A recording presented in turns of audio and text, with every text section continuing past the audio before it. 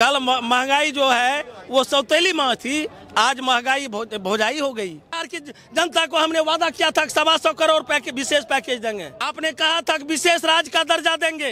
आप आके यहाँ डिबेट करते गाली दे के चले गए यही भाजपा ही कहते हैं जंगल राज यही भाजपा ही आपके सामने में अभी गाली दिया या नहीं आप सौ सैकड़ों जनता के बीच में कहा ना कि मोदी के विरोध में बोलोगे तो जो जो है गंदा शब्द में इशारा करते हुए कांग्रेस सबसे बड़ा इकोनॉमिकल था सबसे बड़ा अर्थशास्त्री था लालू जी तीन चार गो काम किए बढ़िया बढ़िया फ़र्स्ट काम की लालू जी के सरकार में शिकायत हम नहीं कर रहे हैं फ़र्स्ट बार चलाइएगा चैनल पर इसको जो अपना बेटा को मैट्रिक तक नहीं पढ़ा सकता एक बेटा नहीं दोनों बेटा को हर गाँव में हर गाँव में हर गाँव में हर गाँव में लोकसभा के पहले चरण का जो चुनाव है 19 अप्रैल को हो अब बहुत ही कम दिन बचा है। बिहार में लगातार जो केंद्र के नेता हैं मंत्री हैं वो दौरा कर रहे हैं और 40 सीटों को साधने का प्रयास कर रहे हैं। अभी पटना जंक्शन पे हैं। बिहार के लोग क्या इस बार मोदी को हैट्रिक देने का प्रयास करेंगे या कोई नया चेहरा दिया जाएगा? बातें करेंगे। आपका क्या नाम हुआ सर? मनोज कुमार। मोदी जी हैट्रिक मारेंगे या विपक्ष को इस बार मौका दिया जाएगा? देखिए हैट्रिक मारेंगे या विपक्ष ये तो आप लोगों का काम है। ठीक। इसको एग्जिट पोल कहिए या जिस व्यू से चूँकि आप डोर टू डोर जाते हैं। हाँ हाँ। गाँव गाँव जाते हैं। हाँ। लेकिन मोदी जी को जिस उम्मीद से लोग चौदह में लाए थे उन्होंने जो कहा था कि महँगाई के बारे में वो मेन मुद्दा था उसका कि महँगाई कम करना। बहुत हुई महँगाई की मार अब की बार मोदी सरकार बोले थे ये बात। बोले थे बहुत भी महँगाई। लेकिन चौदह में जो हमने पहले भी कहा कि जो दिनाई का दवाई अठारह रुपया में मिलता था, वो अभी एक सौ अस्सी रुपया में मिलता है। प्लेटफॉर्म आज पटना स्टेशन पर है। हम यहाँ का छात्र हैं। यहाँ पढ़ते थे आईएससी में। वो दो रुपया टिकट था। आज पचास रुपया टिकट लिया जा रहा है। और जितना भी भारत है, उसमें जो हंड्रेड परसेंट जो है 200 परसेंट वृद्धि हुई है। तो क्या भाजपा, आप जो कल तक कह रहे थे कि महँगाई की जो से निजात दिलाएँगे, कल महँगाई जो है, वो सौतेली माह थी, आज महँगाई भोजाई हो गई। क्या गरीबों को जो है आप दो किलो राशन दे करके, उसको जो आप बहला फुसला रहे हैं, एक दिनाई का दवाई घर में, प्रत्येक घर में बीमार पड़ता है, एक टेबलेट का जिसका दाम छः रुपया था, उसका साठ रुपया हो गया, जिस कपड़े को मतलब सौ रुपया में खरीदा जाता था। आज उसका दाम जो है दो हज़ार रुपया हो गया। क्या आप उसको देख के क्या दर्शाना तो चाहते उसी हैं? को ना मोदी कह रहे हैं कि 10 साल बेमिसाल अब क्या चाहिए? 10 साल बेमिसाल नहीं हाँ, रहा? बेमिसाल यही बेमिसाल है। आप जिसका स्वप्न दिखा करके कि भारत जो है अच्छे दिन आने वाले हैं अच्छे दिन आने वाले हैं। यही है कि गरीबों का न- चार लाख होट- बोल रहे और कितना अच्छा दिन चाहिए। होटल होटल में होटल में भी जो खाना आज तक आज तक पूरे, आज तक पूरे भारत में कभी जो है खाना पर, होटल पर जो है टैक्स नहीं लगता था। आज आप अगर फाइव स्टार होटल में खाने जाते हैं या किसी भी होटल में जाते हैं, उस पर जो है, उस पर भी जो है टैक्स लिया जाता है। दवाई पर आपका शिक्षा, चिकित्सा, सब कुछ आप जो है, आपका बिहार में, आप देख लीजिए ट्रे, थ्री थ्री में, क्वेश्चन आउट हो गया। कहाँ है आप अच्छे दिन आने वाले? आप में भी वही, आपका भ्रष्टाचार पर बात कर रहे थे। आप प्रत्येक थाने में जाइए, प्रत्येक ब्लॉक में अगर आपको एक दरोगा से पाला पड़ जाएगा, एक वीडियो से पाला पड़ जाएगा तो आठ दिन आप सोएँगे नहीं, बिना घूस लिए आपका एक भी काम नहीं होगा। आपके घर में जो है, आपका हड्डी पसली तोड़ के एक काम कर देगा, जो दबंग है। आप कहते हैं जंगल राज की बात? अभी आप जाके देखिए, कि आपका हड्डी पसली आपके परिवार को हमने देखा है। हड्डी पसली तोड़ के रख देता और थाने पर जाता बिना पैसा लिए। एक बार भी नहीं सुनता है। कम से कम उस राज में जो है कार्यकर्ता से डरता था। आज किसी से नहीं डरता है। खुले हम पैसा दो तो नहीं तो आप सो नहीं पाओगे। भय से कि मेरे पास पैसा नहीं तो केस भी नहीं लेगा तो मोदी की इतनी बुराइयाँ गिना रहे हैं तो किन वोटरों के दम पे वो 400 का दावा कर रहे हैं मोदी इन वोटरों को? हवा हवाई का वोटरों पर और वही ईवीएम का कमाल जिस तरह से आप देखे थे विधानसभा चुनाव में। 11 बजे तक हमने सुना। कि तेजस्वी 160 पार 160 पार। वहाँ से नरेंद्र मोदी जी और अमित शाह जी यहाँ आए और एकदम आराम से गद्दी जमा के बैठ गए प्रत्येक जिला के कलेक्टर को पकड़ लिए कि ये किसी भी स्तर चुकी केंद्र में भी आपका सरकार, यहाँ भी आपका गठबंधन, दोनों मिलके जो है 160 से एकदम गिन करके, गिन के मात्र पाँच कम रखे किस किस इसको आप एक भी नहीं जाने देंगे, इसलिए का आप बाहुबली है। इसलिए कि आप केंद्र में भी बैठे हुए हैं ईडी बीडी सीडी सबों पर आपका जो अधिकार है, आप जो कहते हैं, जैसे भालू को नाथ करके मदारी घुमाता है तो एक बार ऐसे मारता है तो जैसे कहता है वैसे वही आप सबको भालू बना दिए हैं। आपके हाथ में बागडोर है, नचा रहे हैं लोगों को। उसी दम पर कह रहे हैं। लेकिन आपने, हम मानते हैं कि आप अच्छे नेता हैं। लेकिन आपने जो वादा किया था, आपने जो कहा था कि भ्रष्टाचार को मिटाएँगे उस भ्रष्टाचारी पर आप जमीनी स्तर पर आप क्यों नहीं देखते हैं? आप हमारे नीतीश कुमार जी जाते हैं वहाँ। आप शहर को देख लिए चकाचौंध, क्या इसी से गाँव का विकास हो जाता है? हम पूछना चाहते हैं कि आप जिला में जाते हैं, कलेक्टर आपके लिए कालीन मात्र जो है 100 मीटर पर कालीन बिछा देता है। वहाँ चूना और गेरुआ बिछा दिया जाता है। इससे गाँव का विकास हो जाता है। आपने, आप जाते हैं तो आपका गड्ढा को बस मिट्टी से भर के आपको बराबर दिखा देता है। इसी से आपका जमीनी हक- हकीकत दिखाई दे रहा है। विकास हुआ विकास हुआ। अच्छा पिछले पाँच सालों से मोदी जी बिहार में नहीं दिखाई दिए। जैसे चुनाव दो तीन बार बिहार में आ चुका है, एक हफ़्ता के अंदर। तो ये मोदी जी बिहार के बारे में कुछ अच्छा सोच रहा है, तभी ना रहा बिहार में इस आपको जो है चौदह से मौका मिला अच्छा नहीं सुनिए जब आपका चुनाव आगे में आया, अब जो है फ़र्स्ट पेज का चुनाव होने वाला है तो आप बिहार को अच्छा दे सुन रहे हैं। आपने बिहार को कहा था विशेष पैकेज देंगे। आपने कहा था विशेष राज्य का दर्जा देंगे।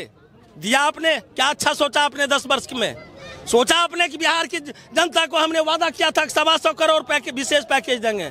सवा करोड़ भी विशेष पैकेज दिए हैं क्या? सवा सौ करोड़। दस नहीं बीस नहीं तीस नहीं अस्सी नहीं सौ करोड़ देंगे। देखिए मोदी जी कहते हैं कि जो है कि ईडी और सीबीआई में कोई झोल नहीं है ईवीएम में कोई झोल लेकिन विपक्ष को ऐसा क्यों लगता है कि ईडी सीबीआई विपक्ष को लगता है इसलिए विधानसभा में प्रमाण देखा गया प्रमाण देखा गया इसलिए लगता है। आप कहते हैं बंगाल के बारे में हमने सुना अभी कहा बंगाल के बारे में। एक भी अगर जहाँ स्टेट है, अगर वहाँ ममता की ममता दीदी की सरकार थी, वहाँ का जो स्थानीय प्रशासन, उसका था। इसलिए नहीं ले पाए। जहाँ आपका दोनों गठबंधन क्यों ले आए? पलटू राम को कहते थे कि आपका प्रत्येक दरवाज़ा बंद है, कभी नीतीश कुमार जी को नहीं लाएँगे। इसीलिए ईवीएम को कब्जा करने के लिए जिसको आपने लात मार दिया था, जिसको अभी स्लिप कर रहा है, उसको भी फिर से लाए कि फिर यहाँ बिहार में ईवीएम मेरा कब्जा हो। चूँकि अगर एंटी केंद्र में मेरा सरकार है, यहाँ नहीं रहेगा तो आप ईवीएम ईवीएम कवर नहीं कर पाइएगा। इसीलिए आप जिसको गाली दे रहे थे, कहते थे सारे दरवाजे बंद हो गए, उस दरवाजे को खोल के कि ये चाल चलने के लिए। अच्छा दिल्ली का मुख्यमंत्री अरविंद केजरीवाल का अभी तक गुनाह साबित नहीं हुआ। शक के आधार पर उनको जेल में रखा गया है। 2018 में मोदी जी कानून में संशोधन किए कि शक के आधार पर जेल में डाल दिया जाएगा क्या उनके साथ सही हो रहा है? नहीं। कहे जो कि जो भाजपा में आ जाए, कल तक वंशवाद की, परिवारवाद की पार्टी थी, आज उनके एनडीए गठबंधन में आप देख लीजिए, उनमें परिवार, जितने परिवारवाद है, क्यों ना आपने उनसे अरे आप में ताकत है। आप जनता को दिखा रहे जनता देख रही है। आप इस बात को, जिस बात को बोले उस पर खड़े उतरिए। मोदी जी, आपको पसंद करता लाइक करता क्या बिहार के जनता को ऑल इंडिया की जनता को गधा समझ रहे हैं? चि- चिराग पासवान जी, वो परिवारवाद नहीं बहनोई को जीजा को, सबको ला रहे हैं अपने परिवार, वो परिवारवाद नहीं दिखा। मांझी जी, परिवारवाद नहीं दिखा। जो आपके साथ आ जाए भ्रष्टाचारी भी है उसको आप गले लगाने का काम करेंगे वो भ्रष्टाचार नहीं है।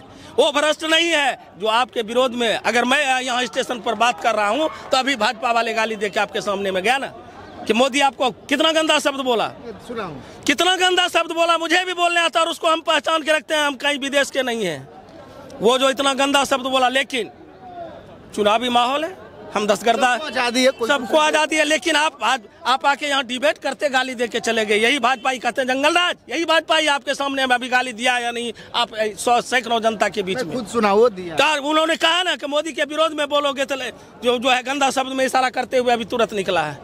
क्या वो जंगल राज का प्रतीक नहीं है? उनके विरोध में बोलो तो ईडी लगा दो बड़ा नेता है तो बड़ा ईडी। हम जो है स्टेशन पर बोल रहे हैं हम फुटपाथ फुटपाथ के लोग हैं तो आप भाजपा वाले घसीट के ले जाओ। ठीक है?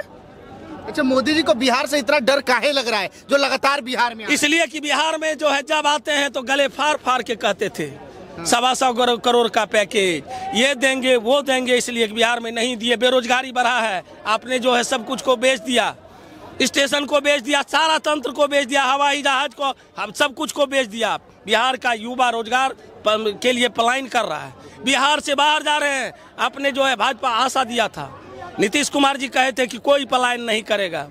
लेकिन एक बार भी हमारे नरेंद्र मोदी जी या उस गठबंधन के सरकार उसने पूछा कि अभी तक जो बेरोजगारी की समस्या बढ़ती जा रही है तो बेरोजगार को हम रोज़गार दें।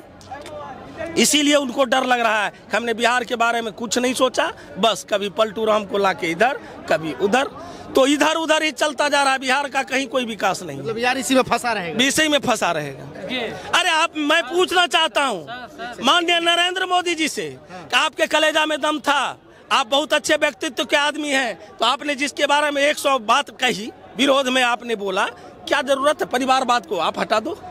परिवारवाद वाले को आप नहीं सटाओ जो भ्रष्टाचार है उसको नहीं सटाओ बिहार की जनता आपको लाइक करती। लेकिन आप क्या समझ रहे हैं? हम जो बोले जा ठीक है आप बहुत बड़े हैं प्रधानमंत्री हैं लेकिन आप इस इस हाथ में ये बोलते हैं इस हाथ में ये बोलते हैं। क्या समझदार जनता नहीं है? सब समझती है। जब मोदी जी जब सत्ता में आए थे तो गंगा मैया की कसम खाए थे कि सारे नदियों को साफ़ करवा देंगे गंगा नदी। पटना की गंगा नदी साफ़ हुई कि नहीं अभी? जाके देख लीजिए पटना की गंगा नदी की स्थिति खड़े नहीं रह पाइएगा।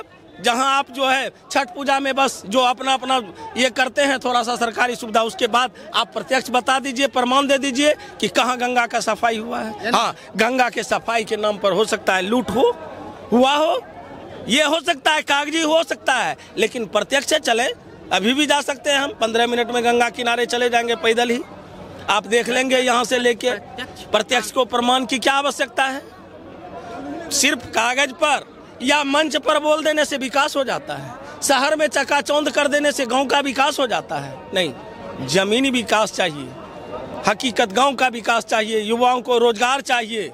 बेरोजगारों को रोज़गार चाहिए। एक बच्चे को पढ़ाने में अभी जितने प्राइवेट संस्थान हैं, यहाँ भी अगर देहात से बच्चे पढ़ने आते हैं, इंजीनियरिंग का तैयारी करता है, मेडिकल का तैयारी करता है एईएस का तैयारी करता है बीपीएससी का तैयारी करता है। एक दो पैसे में नहीं एक लॉज मिलता है तो पाँच हज़ार रुपये में एक सिंगल रूम मिलता है। एक बच्चा पढ़ने के लिए यहाँ आता है तो पंद्रह हज़ार रुपया महीना खर्च करता है। क्या एक पिता, गरीब मजदूर किसान, वो जो तमन्ना से भेजता है कि हम अपने बेटे को पढ़ा लिखा के I S I P S या सरकारी नौकरी में देंगे, आप कह रहे हैं बस सरकारी नौकरी के लिए सब मरता है तो क्यों वो पढ़ा रहा है?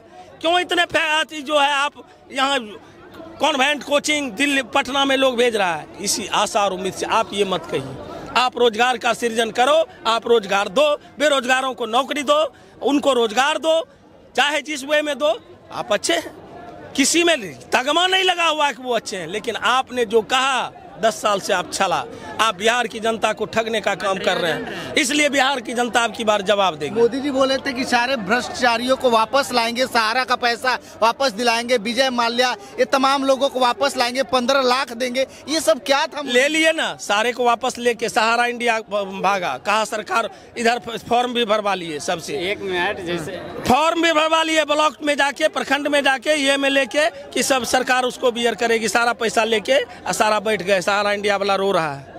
जो भेजे जो पैसा जमा किया है। अब तो और डर है कि सुब्रत मुखर्जी भी डेथ कर गए। और पैसा मिलेगा अब पैसा मिलेगा भी नहीं। आप किस मुँह से कह रहे थे कि आपको क्या हम केंद्र सरकार पैसा देगी? आप जो है भ्रष्टाचार आपको तो कह रहे हैं प्रखंड से लेके आपका दिल्ली तक। चाहे जहाँ भी हो आपका भ्रष्टाचारी आप आँख एक बार मोदी जी नेत्र खोल के देखें कि आपका भ्रष्टाचारी बढ़ा है। एक परसेंट नहीं एक हज़ार परसेंट बढ़ा है। जहाँ एक सौ रुपया भ्रष्टाचार में कोई पदाधिकारी घूस लेता था अब भी दस हज़ार में घूस लेता है आपके इस बिहार में। अच्छा बीजेपी में लोग जो है कि करप्ट नहीं है उनके लोगों पर सीबीआई और ईडी का छापा क्यों नहीं पड़ पाता है? बीजेपी में कहे जो जो इनके पास आ जाए एक कहा था एक कहावत है कि छठी में कहावत था हमर साय कोतवाल हम लंगटे सुतब तो अभी बीजेपी वाले का कोतवाल है? वो लंगटे हैं तो उनको कोई नहीं कहने वाला है। लेकिन गरीब का जो है वो अगर थोड़ा सा सर से घूंघट खिसक जाए तो वो गड़बड़ है। यही हाल है। मोदी जी तो रास्ता बना रहे हैं ना आगे की जो सरकार आएगी फिर वो क्या करेगी? वो भी तो यही करेगी अगर मोदी जी ये काम कर रहे होंगे तो। मोदी जी काम कर रहे होंगे बहुत अच्छे थे। हम लोग भी स्वप्न में देखे थे हमने भी उसको वोट किया। किस उम्मीद से लाए थे दो हज़ार चौदह? लाए थे कि अच्छे दिन आने वाले हैं। वो कह रहे थे कि इतने से पैसा जो है, स्विस बैंक से लाया जाएगा। हमको भी उम्मीद थी, अभी भाजपा वाले का स्विस बैंक में और उससे दस गुना जा रहा है। पकड़ पकड़ के छोटी मछली को ला रहा है, बेवजह जिस, जो उससे भागेगा उसको ला रहा है। आप देख लें, महाराष्ट्र में जिस पर आप, वो ईडी का सिकंजा कसने जा रहे थे, शरद पवार के भतीजे को, अजीत पवार को जब इनमें डर से आया तो उनका लिपापोती हो गया। फिर जो उनके विरोध में था, उसको जेल भेज दो। दिल्ली में वही है बिहार में वही है। बस इनके पास एक ही ताकत है कि बस सबको धमकाओ ईडी के बारे में डर दिखाओ बस ये जो है फट मेरे में आ गया। इनका रिंच बहुत सुंदर है। बिहार की दुर्दशा कैसे सुधरेगी? उसको सुधारने के लिए क्या करना पड़ेगा? ए भाई जब जो बीस वर्ष बीस वर्ष नीतीश जी को मौका दिए पलटू राम को। पलट के इधर पलट बीस बरस इसी में चला गया। आप देख लें अब बिहार का मौका जो है जनता एक चीज़ जान लीजिए एक हमारे नए लीडर थे, एक कहा था कि रोटी क्यों जली? घोड़ा क्यों आ रहा? पौन क्यों सरा? इसलिए कि फेरा नहीं गया। अगर रोटी को आप नहीं फेरिएगा तो वो जलेगी, घोड़ा को नहीं फेरिएगा तो वो हरेगा पौन को नहीं फेरिएगा तो सरेगा। यही हाल है बिहार सरकार का। इस निकम में सरकार को हटाओ किसी नए चेहरे को दो। अगर वो नहीं आएगा तो फिर उसको भी पाँच वर्ष के बाद साथ जो है भेज बिहार के विकास कैसे होगा? बिल्कुल बिल्कुल इनकी बातें से ये सरकार बदलते रहना हाँ चाहिए। सरकार बदलते रहना एक मिनट जैसे हम लोग पिछले बार उनचालीस सीट दिए गुजरात में 26 सीट गया तो 10 साल में आप पता कर लीजिए सर्वे में कितना कंपनियाँ वहाँ गई और हम लोग बिहारी लोग जाते हैं। अरे बिहारी आया है काम करने के लिए। इस तरह से बिहेवियर होता है गुजरात में। अब बताए उनचालीस सीट जगह पे कोई एक भी फैक्ट्री वगैरह नहीं आया है। मगर छब्बीस सीट जहाँ से गए वहाँ से पूरा गया है। तो क्या सर आप अपने बच्चे को इसलिए पढ़ाते हैं कि ट्रेन में भर करके गुजरात में जाकर मजदूरी करेंगे? नहीं। और क्या हम भी अपने बच्चे को पढ़ाते हैं कि हमको हमारे बिहार में कोई ऐसा नेता आए लीडर आए जो घोषणा करते हैं कि हम दस लाख की नौकरी देंगे उसको बीस लाख में परिणत कर दे। रोज़गार के नाम भाजपा सुशील मोदी जी थे हम सुने थे यूट्यूब में आपका देखे थे। पहले जैसे कहते थे तेजस्वी जी वो कब कहाँ से पैसा लाएँगे? पैसा कहाँ से लाएगा? अरे सरकार ऐसे बोलती है सरकार का ये काम है ये बोलना कहाँ से पैसा लाएँगे? कहाँ से पैसा लाएँगे? ये कह के आप जनता को बुर्बक बना रहे थे। अभी भी वही कर रहे हैं। दो पहला शिक्षा चिकित्सा और भ्रष्टाचार। इस तीन पर लगाम लगाइए। जो जमीनी सबसे पहले जो भ्रष्टाचार से त्रस्त है जनता जिसका एक ब्लॉक में भी जमीनी सर्वे के नाम पर आप जाके देखिए पूरे ज़मीन को सर्वे करवाओ। अमीन घर घर जाके लूट रहा है। आपको अगर हम भी उसका भुक्तभोगी हैं, हमको 40 बीघा ज़मीन है और फंसे हुए हैं, इसमें तो इतना पैसा तो प्रत्येक कबाला पर। कुछ मेरे दादाजी के नाम से है, कुछ पिताजी के नाम से है, कुछ माता जी के नाम से है, कुछ मेरे नाम से है। और प्रत्येक कबाला पर जो कहीं ना कहीं ये गड़बड़ है, वो और ये चौथा बार है। ये इस भ्रष्टाचार को कब खत्म होगा? ब्लॉक में सीओ एक के वाला मोटेशन पर दस हज़ार रुपया लेता था। था, अभी बीस हज़ार में भी नहीं सुन रहा है। इस भ्रष्टाचारी को कौन खत्म करेगा? बिहार को बदलने के लिए क्या करना पड़ेगा? पहले इनका जवाब हम देते हैं बात का। आधा बोले आधा छोड़ दिए। नीतीश जी के सत्रह बरस इनको याद आ गया कि कुछ काम नहीं किए। और नीतीश जी के पहले सत्रह बरस के था बिहार सरकार में। लालू यादव। वो कौन काम किए बिहार में? एगो काम हम जानना चाहते हैं कौन काम किए बिहार में सत्रह लालू यादव कुछ किए हैं कि नहीं बिहार के लिए? देखिए क्या किए हैं?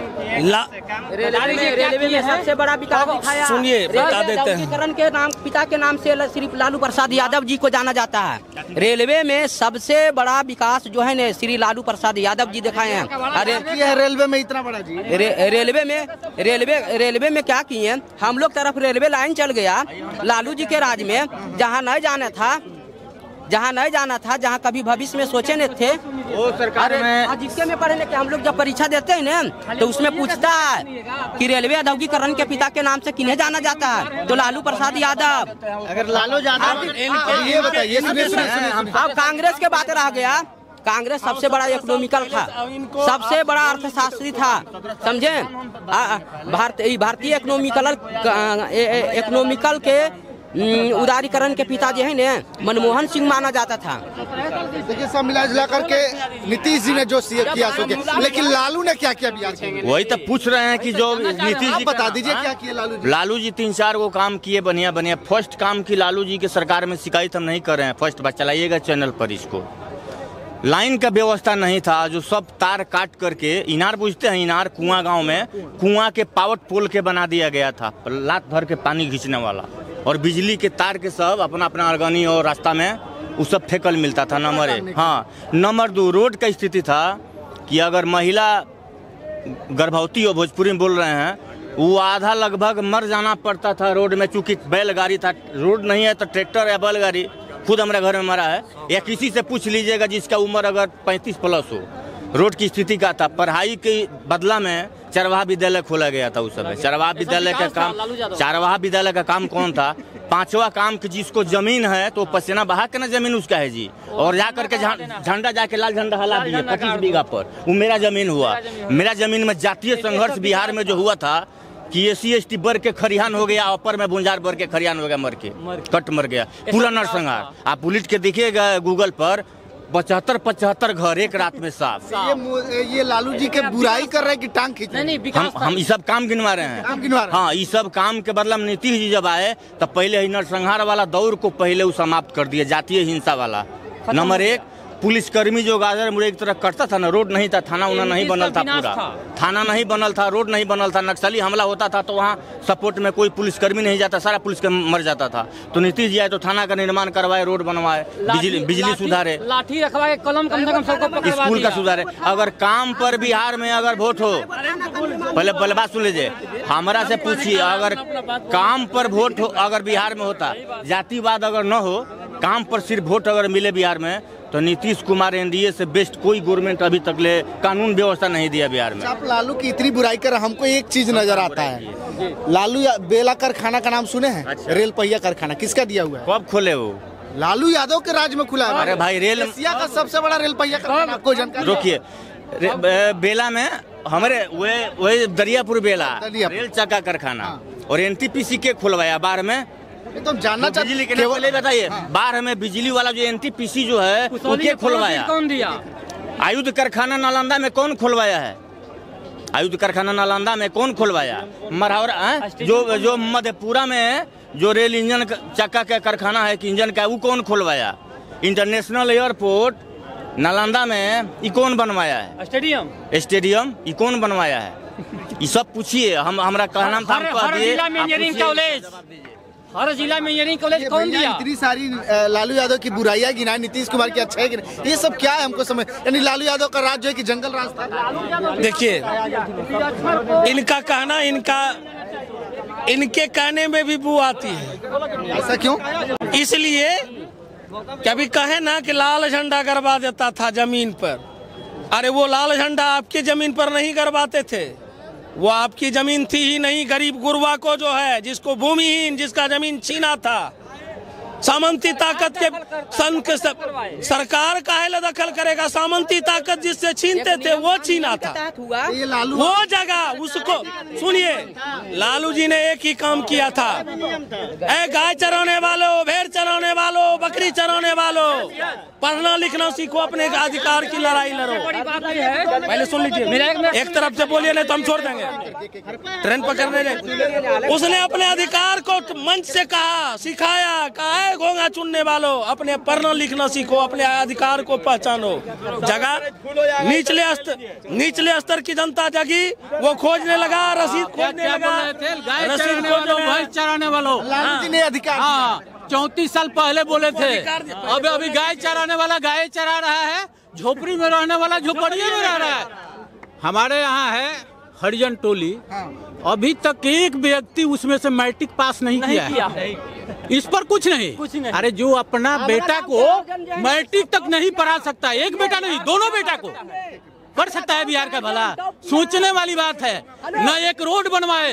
सुनिए न एक स्कूल बनवाए। कई साल हुआ? पंद्रह साल मुख्यमंत्री दस साल रेल मंत्री। दस साल रेल मंत्री पच्चीस साल शासन किया। ठीक है? एक भी रोड नहीं एक भी स्कूल नहीं एक बिजली तो किसी गाँव में था ही नहीं। पहले से था कांग्रेस के शासन में, इनके शासन में सारा ट्रांसफार्मर गिरा। बिजली, स्वाहा, स्कूल सब गिर गया। आज देखिए आज देखिए, हर गाँव में दो मंजिला स्कूल। सुनिए, सुनो पहले। हर हर गाँव में, सुनिए ना पहले बात, सुनिए ना। हर गाँव में, सुनिए। हर गाँव में, हर हर गाँव हर गाँव तो है क्या सोच रहे हैं प्रतिक्रिया वीडियो के कमेंट बॉक्स में दीजिएगा देखिए मैं आपको बता रहा हूँ ये दोनों लोग आपस में लड़ाई करने रहे उतर रहा आप लोग क्या सोच रहे हैं प्रतिक्रिया कमेंट बॉक्स में दीजिएगा बहुत बहुत धन्यवाद